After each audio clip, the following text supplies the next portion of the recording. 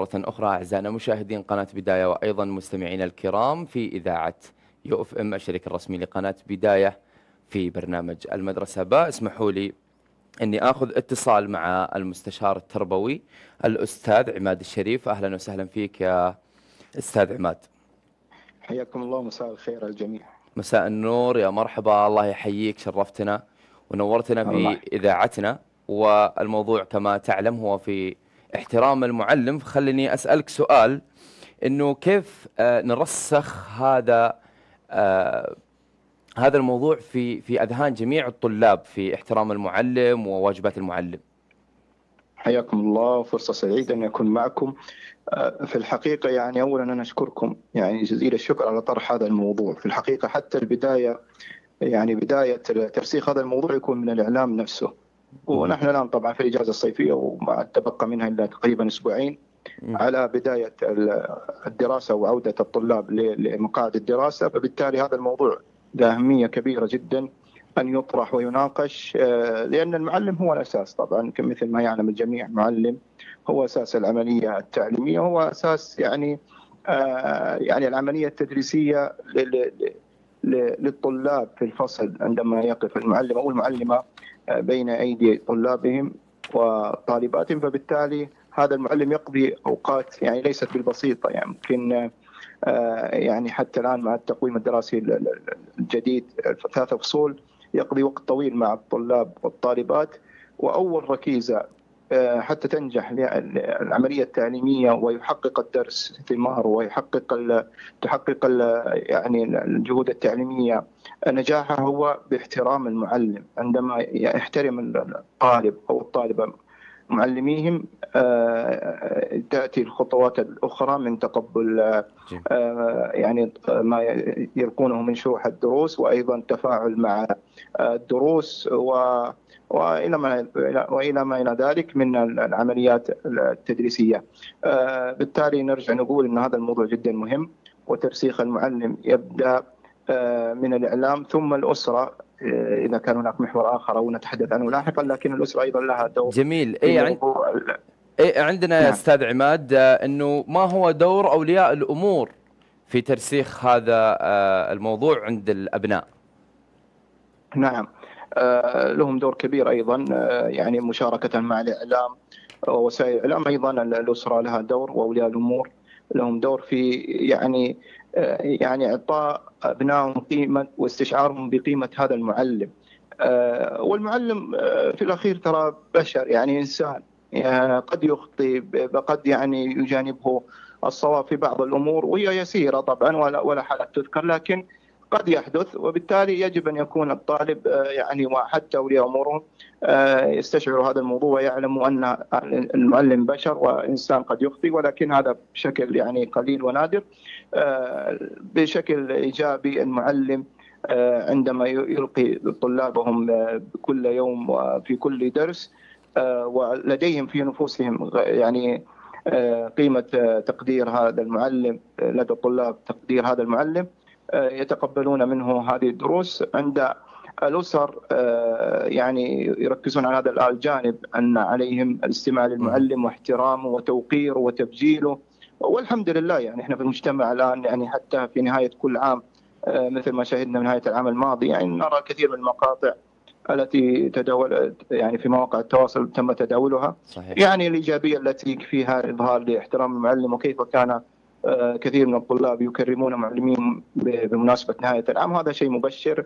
آه، فقط يمكن الآن دورنا أنتم ونحن في هذه في, في, في الإعلام يعني تعزيز هذه المكانة وترسيخها آه، في نفوس الطلبة.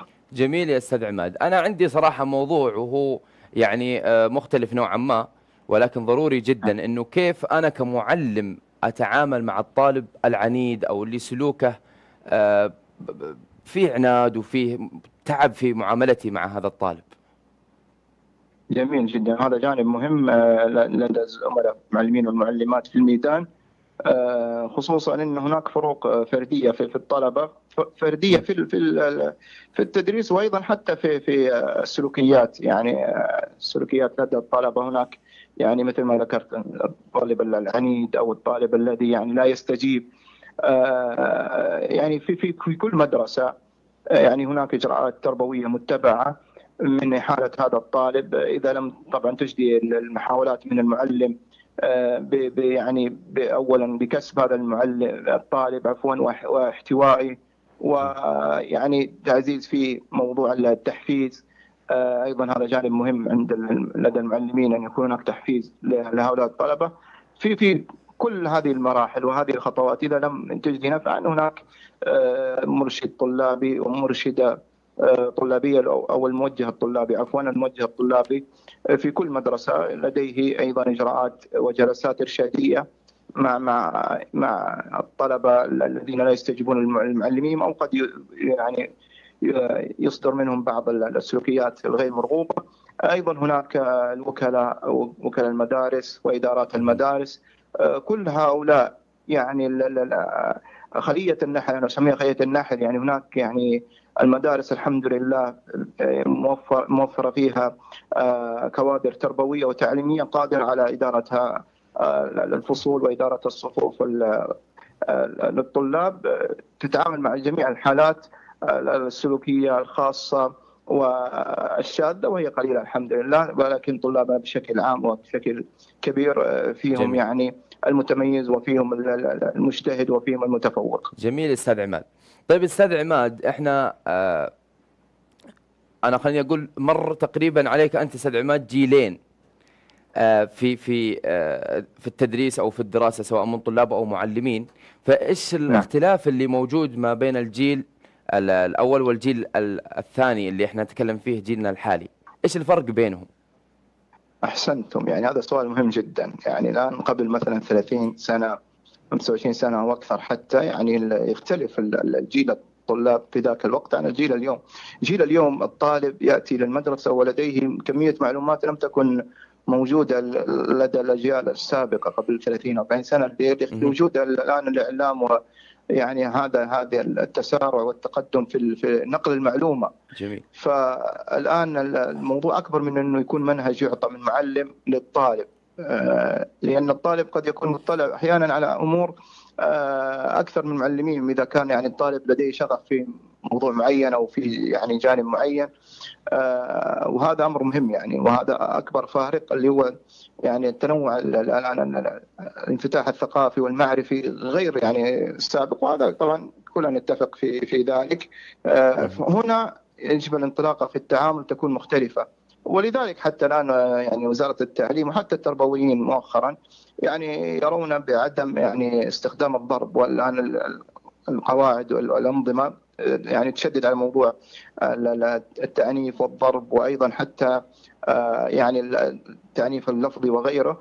لأن الجيل الآن مختلف، الجيل لا يحتاج إلى أن تكون يعني عليه قاسيا أو تكون عليه شديدا بقدر ما يكون هناك احتواء وتقدير حتى من جانب المعلم للطالب. يعني جميل. في المراحل المتقدمة مثلا الثانوية آه، الطالب يعني يعتبر كزميل لك. يعني في في المراحل الثانوية إذا عملت بهذا آه، يعني بهذا القدر قد يستجيب أكثر من أنك تكون يعني معاندا له أو أنك يعني تكون له آه، في غير صفه. فيعني في فروقات يعني مراعاة الفوارق أيضا بين المراحل لها دور.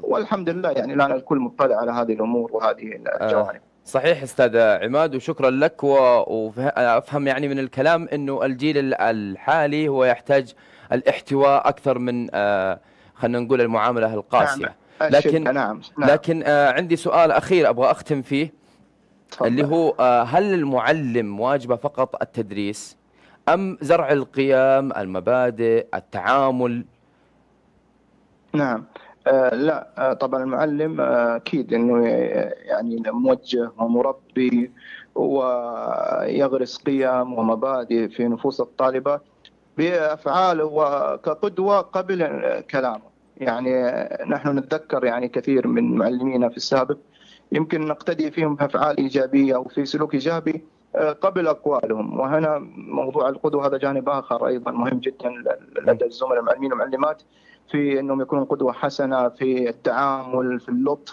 في في الاحترام في التقدير. ربما مشهد واحد يراه الطالب من معلمه في تعامل أو في آه، ردة فعل بشكل إيجابي آه، يعني تؤثر فيه أبلغ من ألف آه، كلمة كما يقال أو ألف آه، جملة يا سلام يا أستاذ عماد أنا عندي سؤال بس مع معاذ آه، يبغى يسألك سؤال فخلني أتيح المجال آه، الطالب معاذ تفضل عماد. شلونك؟ سلامة الله حياك الله كيف تنصح الطلاب والطالبات يجتهدون في دراساتهم؟ الله يحييك يا معاذ. سؤال جدا مهم.